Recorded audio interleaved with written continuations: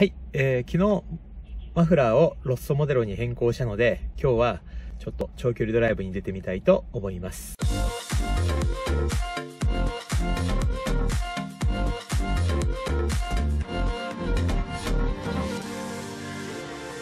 じゃエンジン始動します。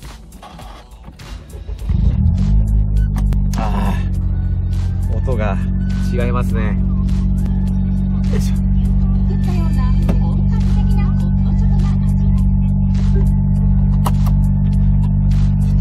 ですぐ出ます。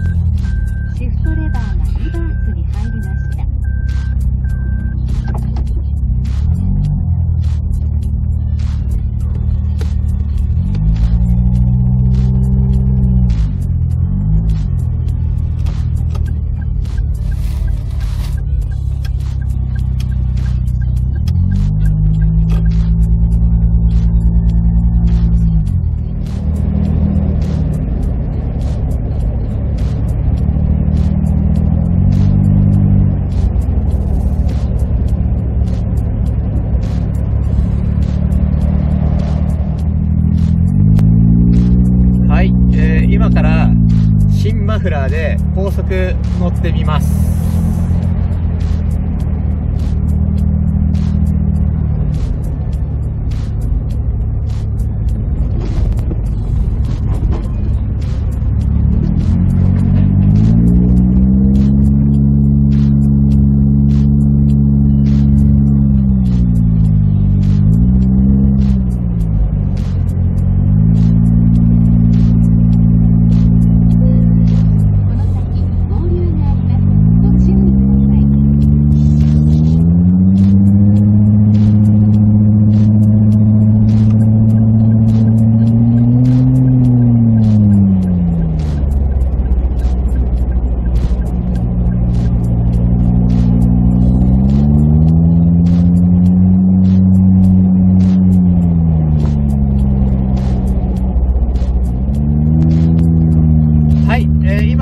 走行中ですけど、音聞こえます？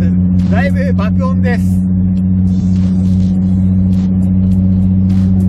そもそも、えー、高速をオープンで走ると、風の音がすごいので、それに加えてマフラーの音もかなり大きくて、ナビの、ナビ、テレビとか DVD はほぼ聞こえません。これ人が乗ってる状態で会話できるのかどうかっていうのも結構微妙なぐらい音が大きいです。や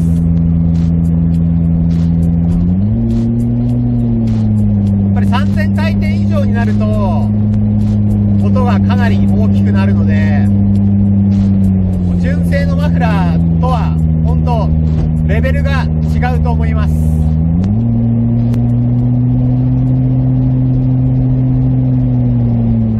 次は、え、ルーフを、屋根を閉めた状態で、マフラー音どんぐらいなのかを確認したいと思います。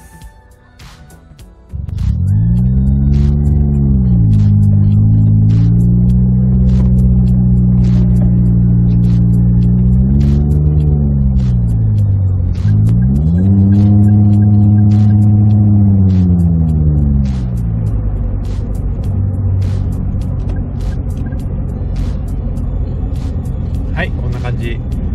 ルーフ閉めても普通に爆音でした。はい、えー、次はニューマフラーがトンネル内ではどのような音なのかを確認したいと思います。トンネルに入ります。